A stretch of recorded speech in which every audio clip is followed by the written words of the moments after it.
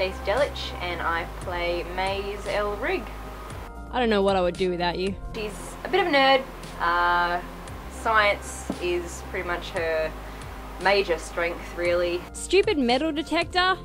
Too committed to something sometimes, to the point where it can annoy other characters. Well, if I picture little Mexico, it would look like any stereotypical tequila shooting town, with a little fort and some cactuses. And that's called racial profiling.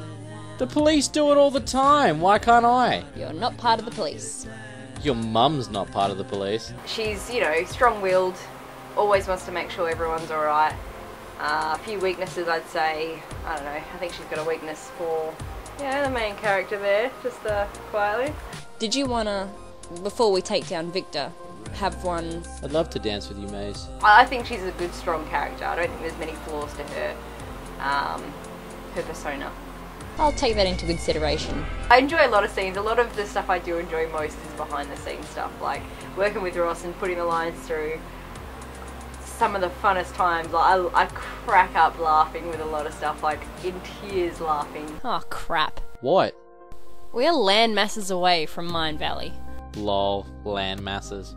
Wait, below the two land masses is a cave of some kind. Oh yeah, I see that. What? What's it called? The Moist Cavern. They say it erupts once a month with a fiery red lava. That would make everybody in the area moody.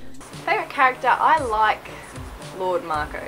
His character is so out there. Like, oh, kudos to Daniel and his voice work. Amazing. Like, I would be dead trying to keep that voice going, and the way he can portray how he's feeling, like the character's feeling through pure voice, like is is really good. The character itself is very funny. I love how he's just so angry. Don't I know her from somewhere? Where did that whore come from? There are no street corners in Mine Valley. Hmm, a street corner that spawns whores. That's a great idea. If I have anything to say to the you know the fans out there that watch the show, thanks guys. Um, you know we do it for fun. Um, Ross does it for a bit more. You know it's his life, but not a bad thing. Like he does he does really well at, at uh, making his videos, Minecraft, other stuff with EVM. Um, but yeah, no to drugs. Told you that.